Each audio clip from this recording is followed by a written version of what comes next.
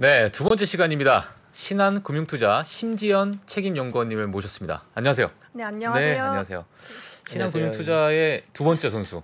맞습니다. 네, 오늘 너무 재밌는 얘기를 가지고 나오셔가지고 네, 박석중 팀장님께서 항상 자랑하셨잖아요. 아, 팀원들 그렇죠. 너무나 자신 있다고. 예. 저희도 두 번째 시간 너무 기대하고 있습니다. 네. 네, 오늘 reopening에 대해서 네. 네 가지고 나오셨는데 제 마음 속에 또 reopening이 1번인데 약간 불안한 게 있어가지고 음, 오늘 좀 얘기를 들어보면 어, 좋을 것 같습니다. 네, 일단 뭐 어떻게 시작을 먼저 할까요, 저희? 어, 들어가기에 앞서서 네네. 소비재 전반을 한번 살펴보고 넘어가겠습니다. 네네. 일단 소비재는 음. 지금 제 개인적으로는 약간 어려운 위치에 와 있다 이렇게 판단을 하고 있고요. 네네. 말씀하신 것처럼 reopening이라는 momentum이 있지만 살짝 마음에 걸리는 것도 있어요. 그게 어, 바로 네. 인플레이션입니다. 네. 네, 그래서 제가 제목을 reopening이랑 인플레이션 이렇게 두 개로 아. 나눠 보았는데 네. 이거를 이제 어, reopening이랑 호재랑 그리고 어, 인플레이션 악재가 맞붙는 상황에서 어떤 게 더 강한가 그래서 이 상황에서는 무엇을 좋게 봐야 되는가 이게 굉장히 중요하기 때문에 네. 이렇게 좀 이제 나눠 보았고요. 네. 좀 이제 팬데믹 이전으로 돌아가 볼게요. 팬데믹 이전부터 이제 살펴보면은 음. 많은 수의 소비재가 사실 많이 망한 기업도 많습니다. 네. 망한 기업이요. 예, 네. 오프라인, 오프라인 retail도 많이 폐쇄를 했고 어. 그리고 실제로 안 좋았던 기업들은 어, 상폐도 많이 되고 그러, 그러, 그런 이제 pandemic을 겪으면서 여기까지 어. 왔고 그렇기 때문에 이렇게 많이 망가졌던 단계에서 회복하는 단계에서는 어. 소비재의 지형도 많이 바뀌기 마련이고 그럼 지금 남아 있는 그 기업들은 상대적으로 그러면 튼튼한 네. 기업이라고 볼 수 있겠네요. 네, 그러니까 어. 약간 consolidation 효과라고 볼 수도 어, 있겠죠. 그래서 네. 남아 있는 살아 있는 업체들은 좀 어, 더 시장을 단단하게 만들면서 지금 음. 약간 다른 그림을 그리면서 음. 올라오고 있다. 네. 그래서 이제 약간 지금 바, 지금 바라볼 때 소비재가 어, 어디에 와 있냐 이렇게 바라볼 수 있을 것 같습니다. 음. 네. 어, 왜냐면 오프닝 듣고 제가 궁금증이 생긴 네. 게 소비재에 관해서 말씀해 주시는데 reopening은 호재고 인플레이션 악재로 말씀하셨잖아요. 네. 근데 인플레이션이 소비재 중에 필수 소비재 같은 곳에도 악재로 볼수 있는 건가요? 이게 제가 뒤에서 약간 자세히 설명을 드릴 건데 네. 원래대로라면 호재가 맞아요. 네. 음식료 같은 케이스는 한 번 올리면 내려가는 케이스는 많이 없잖아요. 그래서 어, 2, 3% 정도 완만하게 인플레이션이 있을 때는 사실은 소비재의 호재인데 지금처럼 모든 카테고리에서 올라가고 그리고 이렇게 빠르게 올라가면은 이 가격 정가를 모두 하지 못하는 상황에서 그 비용이 올라가는 상황이 발생합니다. 그렇기 때문에 지금은 악재라고 볼 수가 있을 것 같아요. 어, 네, 알겠습니다. 감사합니다. 아니 뭐 제가 채팅창을 잠깐 봤는데 아, 누나 말씀하시는데 말 끊지 말라고 저한테 아니 뭐 질문은 좀 해야 되는데 제가 네, 저희가 카메라를 점유를 많이 양보해 네. 드리는 걸로. 알겠습니다. 네. 예. 최대한 네, 말씀 많이 하실 수 있도록 네. 네, 바로 한번 이어가시죠. 네네. 네. 어, 화면을 한번 보겠습니다. 그래서 소비재 지금 어디에 와 있냐 이렇게 하려고 지금 제목을 지어봤는데 네네. 어, 제가 말씀드릴까 지금 소비재가 두 네. 가지가 맞붙고 있기 때문에 생각보다 올해 판단이 쉽지 않을 거다. 이, 이게 지금 소비재가 와 있는 위치라고 지금 판단을 음. 하고 있고요. 네네. 그런 이유 때문에 뭐 결론부터 말씀드리자면은 소비재 전반이 좋진 않을 거지만은 종목별로 약간 차별화가 나타나면서 올라갈 것이다 이렇게 판단을 하고 있습니다. 그래서 저희는 소비재를 크게 좀 어, 넓게 보고 있고요. 그리고 좀 크게 구분을 하고 있습니다. 의료 같은 재화 소비재 이렇게 구분을 하고 그리고 호텔이나 아니면 여행업에 연관이 된 서비스 소비 음. 그리고 뭐 매장이라던가 이커머스 같이 유통주 이렇게 구분을 하고 있는데 네. 사실 이제 지난 2년을 되돌이켜 보면은 어서 이 소비재 종류가 한 번씩 튀었던 것 같아요. 이제 음. 순차적으로 음. 먼저 어, 음식료가 한 번 튀었고 어. 홍코노미가 이제 유행을 하면서 이커머스가 한번 튀었고요. 어. 그 다음에는 이제 어, 망가졌던 의료 같은 이제 저- 경기 소비세가 강하게 생각보다 좀 빠르게 반등을 했었죠. 음. 그래서 굳이 미국뿐만 아니라 국내 같은 경우도 어, 작년 이제 20년 말 그리고 21년 초반을 생각하면 의료가 굉장히 강했습니다. 음. 그렇게 좀 순차적으로 와- 어, 지금 지나가고 있고 지금은 서비스 소비가 반등해야 되는 단계고 이렇게 좀 이제 단계별로 지나가는 것 같아요. 어. 그래서 지금 시점에서는 어, reopening이라고 말할 때는 사실은 재화 소비재는 작년에 이미 어, 거의 다 반등을 했고 음. 그리고 주가나 실적들도 이제 팬데믹 이전으로 돌아갔기 때문에 뭐 그동안 reopening 언제 오냐 언제 오냐 말이 굉장히 많았지만 한번 한 지금 이- 엄청나게 2년쯤. 출렁 걸려가지고 네. 아 이제 갑니다 하면은 뭐 터지고 음. 아 이제 어. 갑니다 오미크론 이제 갑니다 하면 스텔스 뭐, 뭐 이렇게 되니까 네 저도 그걸 2년 동안 봐왔는데 그러니까요. 예. 어, 사실은 reopening momentum 한번 먹고 지난 거- 간, 간 거라고 할 수가 있어요. 의류가 한번 어. 올랐기 때문에. 그래서 reopening momentum이 한번 막 얘기가 나오면은 어, 항상 뒤따라 나온 얘기가 있죠. peak out 이야기입니다. 어. 예, 리오 강하게 한번 반등을 하면은 이제는 peak out 되는 거 아니냐 이렇게 말이 항상 나오기 마련이었거든요. 어. 네네. 그래서 소비재를 지금 이제 어, 재화 소비재랑 서비스 소비를 나눠서 봤을 때 어디 어디에 와 있냐라고 반- 본다면은 음. 저는 어, 여기 이제 재화 수요 같은 경우는 이제 대- 대부분 회복이 작년에 됐지만은 일부 이연이 되고 있는 부분도 있다 이렇게 판단을 하고 있습니다. 음. 그래서 소비재 피가 우려 일부 완화로 최근에 이제 자료도 쓴 적이 있는데 지금 미국 내수 소비가 생각보다 굉장히 강력하고 그리고 약간 이해되지 않는 부분이 있을 정도로 굉장히 강력한 상황입니다. 음. 두 번째 차트를 보시면은 미국 네. 어, 재고 대 판매 비율 추이를 지금 넣어 놓았는데 음. 어, 이게 팬데믹 이전 수준으로 이제 회복이 지연되고 있는 모습을 보이고 음. 있고 지금 이게 낮다는 의미는 재고 쌓이는 것보다 판매되고 있는 속도가 더 빠르다는 의미예요. 음. 네, 그게 이제 어, 작년에 많이 회복됐음에도 불구하고 지금 지속되고 있다 이런 의미고 네. 제가 재고 따로 판매 따로 이렇게 안 보여드리고 음. 이거 두 개 비율로 갖고 온 이유가 사실 재고를 따로 떼보면은 지금 재고 비율이 어, 굉장히 가파르게 많이 올라와 있어요. 음. 그러면은 어, 안 팔리는 거 아니냐, 재고 쌓이고 있는 네. 거 아니냐, 뭐 네. 이렇게 질문을 할 수- 수가 있는데 음. 사실은 어, 어, 작년에 이제 공급망 차질이 하반기 때 있었죠. 음. 그리고 있으면서 월마트 같은 홈디포 같은 이제 주요 유통사들이 음. 재고를 이제 확충하려는 전략을 많이 쓰면서 재고를 어, 되는 아. 대로 많이 쌓아놓는 지금 그런 상황에 와 있습니다. 아. 그래서 재고가 많이 늘어난 것이고 혹시 또 실- 네, 공급망 이슈가 있을까봐. 네, 실제로는 이제 재고 대 판매 비율에서 볼 수 있다시피 판매도 그만큼 많이 되고 있는 상황입니다. 네. 이거를 생산단에서 한번 볼 수 있을 것 같은데 이제 음. 세 번째 차트를 보시면 네. 예, 이게 이제 어, 국내 의료에서도 많이 보는 데이터예요. 그 대만 의료 OEM 3사 합산 월간 매출액인데 음. 이 여기서 이제 제작한 것들이 보통 미국으로 가고요. 그리고 이제 그 월간 데이터를 보시면은 작년 말쯤에 공급망 차질 뭐 이런 것 때문에 한번 훅 빠졌다가 음. 그리고 12월 그리고 1, 2월 이때 이제 많이 올라오는 모습을 볼 수가 있습니다. 이게 이제 여러 가지로 해석을 할 수가 있을 것 같아요. 지금 실제로 수요가 센 것도 있고 음. 그리고 어느 정도 재화 수요가 이연되고 있다 이렇게 볼 수도 있을 것 음. 같습니다. 그래서 앞서 말씀드렸다시피 피크아웃 우려가 굉장히 최근에 많이 논란이 됐기 때문에 작년에 이제 작년 말에 성장주 조정되면서 이런 피크아웃 논란 됐던 업체들도 같이 많이 조정을 받았거든요. 근데 그런 업종들 중에서는 실적은 견조한 업종들이 굉- 어, 업체들이 굉장히 많았습니다. 예를 음. 들어 나이키 이런 것도 들 수가 있을 거고 최근에 실적 발표를 했던 룰루레몬 이런 것도 어. 들 수가 있습니다. 네. 그래서 어, 이런 업종들도 이제 진입 시점을 한번 살펴볼 타이밍이 아닌가 이렇게 어. 판단을 하고 있고요. 나이키 룰루레몬. 네. 예시를 든 거예요. 아, 예, 예, 예. 네. 알겠습니다. 네. 네. 일단 적어놨습니다. 일단. 네. 그 어, 지금까지는 재화 소비에 대해 설명을 드렸고요. 네네. 그다음 진짜로 좋게 보고 있는 건 서비스 소비 쪽입니다. 서비스 소비요. 이제 본론이에요. 이제. 아, 이제 본론입니다. 네. 가시죠. 어, 그러니까 재화 소비는 일부가 좀 이제 조, 좋을 거라고 설명을 드린 거고 네네. 서비스 소비는 아직 이제 팬데믹 이전으로 회복이 덜 된 업종 중에 하나예요. 음. 그래서 호텔이나 여행 이렇게 직관적으로 생각을 해봐도 아직 팬데믹 이전까지는 회복이 안 됐잖아요. 음. 그래서 이런 업종들이 올해 좀 이제 전체적으로 좋지 않을까 이렇게 판단을 어. 하고 있고, 네, 네, 그 사실 reopening을 하게 되면 네. 호텔과 여행 또 이제 항공, 크루즈 이게 이렇게 이제 생각하시는 분이 많이 있으시잖아요, 네네. 사실은. 외식 업종. 뭐 네, 뭐할때 근데 이제 그 종목들이 너무 안 가니까 네, 최근에 그렇죠.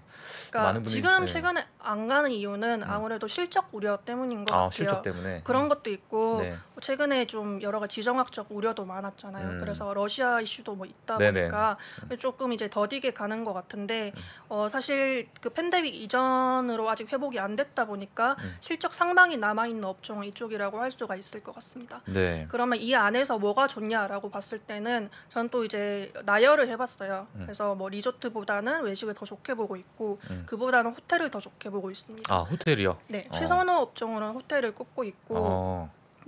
그래서 어, 외부 활동이나 외부 트래픽 이런 것 중에 사실 local 외부 외부 트래픽은 미국에서는 상당히 많이 회복을 했어요. 음. 근데 진짜 회복을 덜 한 부분이 뭐 다들 잘 아시겠지만 여행이잖아요. 음. 그래서 여행 트래픽이 여행이랑 어, 연동되는 업종이 좀 어, 더 회복 폭이 크다 이렇게 보고 있고 음. 특히 호텔 같은 경우는 좀 어, 리조트 대비해서 유리하게 보는 음. 이유가 고가 가격 책정입니다. 어. 네. 그러니까 호텔 같은 경우는 생각해 보시면 매일매일 방 가격이 바뀌고 맞아요. 그쵸? 예. 네. 그리고 주말 되면 비싸고. 네. 예. 네, 그뭐 성수기 때 더 비싸고 그러니까요. 네. 그리고 방마다 가격이 또 다르고 아 그게 참 짜증 납니다 네. 진짜. 예. 그렇기 때문에 저희 입장에서는 짜증이 나지만 그렇죠. 호텔 입장에서는 가격 되니까. 책정이 어. 조금 더 유리한 거죠. 예. 뭐 저희가 생각하는 이제 음식료 이런 것보단 더 잘 이제 음. 정가를 할 수 있는 거잖아요. 예. 그래서 그런 관점에서는 좀 저가형보다는 가격 책정이 조금 유리하고요. 음. 그리고 어, 호텔은 하나 더 유리한 게 있습니다. 음. 이게 여행 회복되는 거에 가산해가지고 출장 수요 회복에도 영향을 많이 받습니다. 어. 네. 호텔 생각해 보시면 그 객실 객실 쪽에서도 매출이 많이 발생하지만 어, 컨퍼런스룸 이런 거 이제 예약에도 굉장히 매출이 많이 발생을 하거든요. 이제 양방에서 이제 영향을 받기 때문에 가격 장고력이 이제 두 배로 강점을 가지고 있다라고 볼 수가 있고 음. 그리고 이제 차트 같은 거 보시면은 음, 이게 두 번째 차트 보시면 네. 예, 가격 그 가격 책정이 어떻게 되어 있는지 보는 건데 좀 장기간 봤을 때그 이제 가격 반영하는 지수가 그 평균보다는 좀 높아요. 그렇기 음. 때문에 지금처럼 어, 탄력적으로 이제 외부 활동이 회복하는 상황에서는 가격 책정이 더 음. 올라갈 수가 있는 거고요. 그래서 장기적으론 좀 그렇게 보고 있고 호텔 자체 이제 어, 데이터인데 세 번째 차트 보겠습니다. 네네네. 이제 호텔 내에서 이제 이건 부동산에서 보는 데이터 중에 하나인데 호텔 cap rate라고 해서 이 부분이 좀 많이 내려왔어요. 그래서 cap rate 이게 낮을수록 좀 유리한 그런 데이터인데 이게 많이 내려와 있기 때문에 지금 상대적으로 리스크 대비해서 투자 매력도 좀 높게 보고 있다 이런 음. 의미이기도 하고요. 어. 그래서 호텔은 뒤에 업종에서 한 번 더 설명드리겠습니다. 네네. 아유 고맙습니다. 아니, 박사님 오늘따라 리액션 왜 이렇게 좋은 거예요? 아니 근데 저게 네. 뭐 휴지남부터 해가지고 뭐 희한한 말들이 많이 네. 웃겨가지고 지금 실수할 뻔했어요. 아 네. reaction이 지금 너무 좋으셔서 아, 예. 당황했어요. 네네네. 박사로서. 네. 예. 이어가시죠. 알겠습니다. 네. 어, 제가 호텔 설명 드릴 때 네. 고가 포트폴리오라 유리하다 이렇게 설명을 드렸는데 그 이유가 인플레이션 때문입니다. 사실 인플레이션이 어, reopening보다 좀 더 중요한 이슈라고 할 수 있을 것 같아요. 음. 네, 소비재 내에서 비용 대응 전략에 해당을 하고 소비재가 앞에서는 어, 그 인플레이션 민감하다고 설명을 드렸는데 어, 다른 업종도 지금 인플레이션 말이 많잖아요. 근데 소비재가 특별히 인플레이션 민감한 이유가 value에 value chain상 다 반영을 하고 넘어오기 때문입니다. 어. 그러니까 예를 들어서 네. 음식료 같은 경우를 예로 들면 곡물가 한번 반영하고 그리고 이제 농부 가격, 네, 그 네. 인건비 이런 거 네. 반영을 하고 포장재 한번 반영하고 어. 그리고 물류비 반영하고 마지막으로 이제 유통비까지 반영을 하겠죠. 네. 그러니까 굉장히 많이 반영을 하면서 네. 최종 소비자한테 도달을 하는데 네. 소비자가 그걸 잘 받아들이지도 않아요. 어. 그렇기 때문에 인플레이션 굉장히 민감한 업종이고 그러네요. 네. 어. 어, 그런데 앞서서 네. 어, 주가를 설명드릴 때 음. 최근에 이제 의류 아니면은 뭐 유통, 이커머스가 굉장히 주가 근 한 달 동안 굉장히 강하다고 설명을 드렸어요. 음. 어, 그 이유가 어, 저는 개인적으로 이게 굉장히 좀 독특한 움직임이다 이렇게 보고 있는데 네. 어, 사실 지금의 인플레이션 우려대로라면은 음. 그리고 어, 지금 소비자가 우려하고 있는 대로라면은 유통 쪽이 그러니까 식자재 유통 쪽이 좀 약해야 되거든요. 네. 그 부분이 굉장히 강하더라고요. 음. 그래서 독특하다고 이제 살펴보고 있는 거고 네. 어, 사실 인플레이션 우려를 소비자들도 모르고 있진 않아요. 첫 번째 차트를 보시면 네. 어, 많이들 보셨을 미국 소비자 심리 지수 차트입니다. 음. 보시면은 어, 그 팬데믹 이전 수준에서 낮아진 상태에서 지금 회복이 안 되고 있어요. 아. 여전히 지금 낮아져 있고 음. 반대로 저는 그러니까 계속해서 소비 데이터는 굉장히 좋다고 설명을 했단 말이죠. 네. 여기에 갭이 있는 거예요. 음. 소비 데이터는 잘 나오는데 심리 지수는 굉장히 낮은. 음. 어, 이 개- 괴- 굉장히 괴리가 있는데 어. 네. 왜 그럴까요? 일단 저는 이제 레깅 효과가 좀 있다고 봐요. 아. 네. 그 소비자 심리 지수는 미래를 좀 반영을 하는데 네. 네, 그 소비 데이터는 네. 그 당월이나 전월을 좀 반영을 전화를 하잖아요. 아, 그렇게 되니까 네. 약간의 지- 그래서 지금 변곡점이 굉장히 이제 어, 심하게 일어나고 있기 음. 때문에 그 차이가 나, 나고 있다고 보고요. 약간 시간차가 있다. 네. 예. 어, 그리고 어, 그 소, 개인적으로는 음. 그 소비 소비자들이 이전 인플레이션 시대 때 이런 이렇게 빨리 올랐던 적은 그렇게 어, 많이 없기 때문에 네. 좀 다르게 반응을 하는 것 같습니다. 이게 어. 앞서 설명했다시피 인플레이션이 좀 느리게 상승을 하면은 어쨌든 소비자들은 받아들이는데 지금은 굉장히 빠르게 상승을 하고 있잖아요. 네. 뭐두 번째 차트를 보셔도 그 이제 네, 곡물가라던가 아니면 다른 인플레이션 차트가 보여지는데 지금 이렇게 빨리 어 인플레이션이 올라오면은 어, 저가 카테고리가 먼저 영향을 받습니다. 그래서 최근에는 이제 미국 내에서도 저소득층이 소비에 먼저 영향을 받을 거다 이런 논, 어, 논의도 굉장히 많이 나오고 있고요. 네, 왜냐면 그 제가 짜, 짧은 질문 하나만 해도 네네. 될까요? 네, 물 마실 시간 조금 드릴 겸 너무 저희가 말씀을 너무 연달아 시킨 것 같아서 네네네.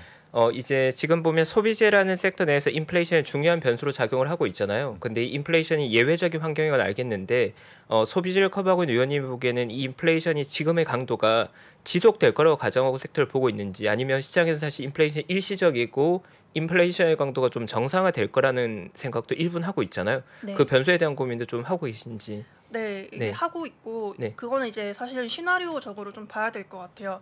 강하게 가는 시나리오 그리고 또 회복이 되는 시나리오 이렇게 봐야 될 것 같은데, 그러니까 어떤 인플레이션이 지금 지속이 되든 일단 지금 인플레 있는 인플레이션을 어쨌든 실적에는 반영을 해야 되거든요. 이거를 한번 반영하고 지나가지는 어, 지나가 안 지나갈 수는 없기 때문에 어, 나아지든 계속 지속되든 이, 지금 높아진 상황은 지금 반영을 해야 됩니다. 음. 그거는 변하진 않는 상황이에요. 네. 네. 그래서 음, 만약에 인플레이션이 지금 더 높게 지속이 된다면은 어, 방어주 전략을 뒤에서 설명을 드리겠지만 음. 예, 그쪽으로 좀 가져갈 수 있을 거고 반면에 인플레이션이 어, 급하게 완화될 일은 없을 것 같은데 만약에 완화가 된다면은 가격 정가를 많이 했던 기업들 위주로 좀 이제 어, 마진이 벌어질 것 같습니다. 음, 가격 정가를 이미 한 곳들은 만약 인플레가 내려가면 그만큼 마진이 늘어나는 거네요. 가격이 다시 내려오진 않으니까 잘. 네, 네. 근데 그런 관점에서 원래는 필수제 그리고 음식료를 굉장히 유리하게 봤었어요. 이게 음식료를 보는 전통적인 시각이잖아요.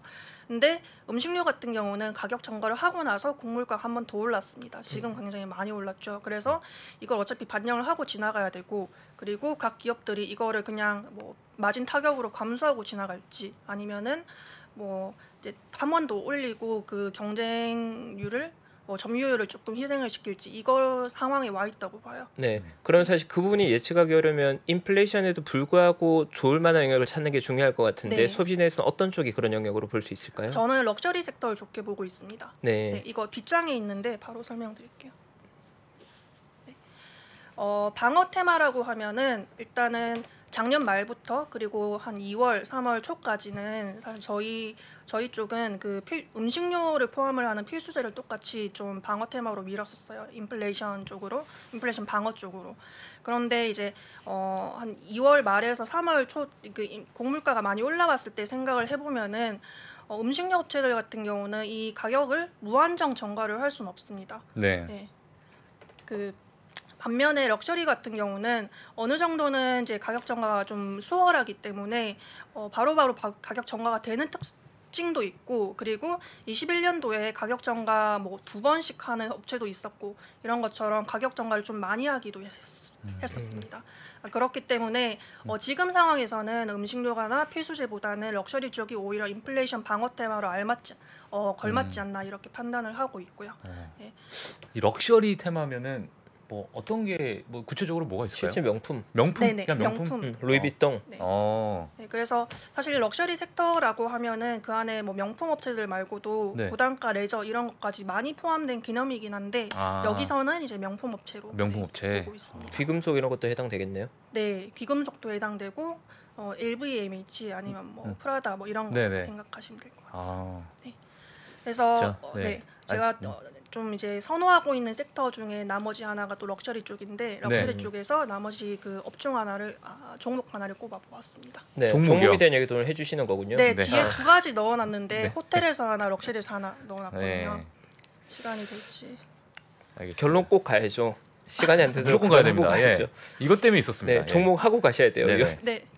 어, 결론 앞에 이제 설명드린 산업 부분 한 번 더 이제 요약하고 넘어가자면 네네. 어, 이제 오- 지금 시점에서는 reopening이랑 강한 수요 이런 좋은 momentum이 이제 매출을 확장을 하고요. 음. 반면에 인플레이션은 각, 각 업체의 마진을 결정할 것 같습니다. 음. 어, 지금 뭐 저, 바로 직전 실적 실적 이제 그 conference call에서도 어, 가장 conference call에서 잦게 나왔던 이슈가 인플레이션 쪽이었어요. 가격 전가를 어떻게 할 거냐.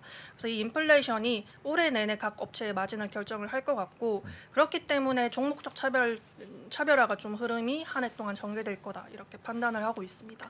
최선호 섹터로는 luxury랑 호텔 각각 뽑고 있는데 럭셔리 업종에서는 시그넷 주얼러스라고 어, 아마 많이들 모르실 거예요. 네. 시그넷 주얼러스 좋게 보고 있고 호텔 업종에서는 메리어트 좋게 보고 있습니다. 어. 시그넷 주얼러스는 보석 업체인가요? 네. 어. 요거 지금 전감 처음- 잡으셨어요? 네. 음. 지난번에 그 박석중 위원님께서 나오셨을 때 네네. 이연 수요가 뭐가 있을까 고민하다가 이 음. 웨딩 쪽이 좀 어, 이연 맞아요. 있을 것 어, 같아서 맞아요. 예. 다이아 관련 기업 좀 봐야 될 것 같다 말씀하셨잖아요. 그때 저도 궁금했거든요. 다이아 맞아, 기업. 뭐가 있을까? 요거 말씀하신 거 네, 맞죠? 이거 말씀. 제가 바로 딱 감 왔잖아요. 디테일하게 종목 브리핑 좀 부탁드리겠습니다. 네. 어. 관심 확 가는데요 지금. 어. 어, 메리어트는 그럼 간단하게 설명하고 넘어갈게요. 예, 메- 호리엣 호텔은 앞쪽에서 좀 설명을 했으니까 메리어트의 특징은 어, 하얏트랑 힐튼이랑 좀 같이 이제 보고 있고요. 메리어트 같은 경우는 어, 호텔 업종이 자산 경량화 모델로 운영이 되기 때문에 음. 그 이제 부동산을 직접 소유하는 게 아니라 보통 임대를 해서 경영을 합니다.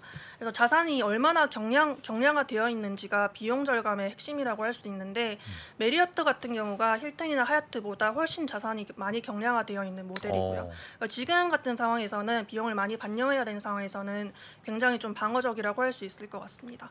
그리고 다른 두 호텔 대비해서는 그 어, 글로벌 비중이 조금 더 높아요. 그렇기 때문에 나중에 이제 뭐 미국 외의 지역도 회복이 됐을 때 조금 더 회복폭이 크지 않을까 이렇게 보고 있는 이유 중에 하나입니다. 음. 그리고 어, 가격 전가력이 높다고 할 수 있는데 다른 두 호텔보다는 좀 이제 고단가 가격 그 객실 가격 책정이 되어 있기 때문에 가격 전가력이 좀 높다고 할 수 있고 실제로 가격 전가가 잘 되고 있습니다. 어. 세 번째 차트 보시면 그 메리어트 같은 경우는 최근 분기로 갈수록 평균 객실 요금이 많이 좀 상승을 하고 있는데 어. 이 부분이 가격 전가가 잘 되고 있는 특징이라고 음. 할수 있을 것 같습니다. 메리어트는 어, 여기까지고. 예. 네.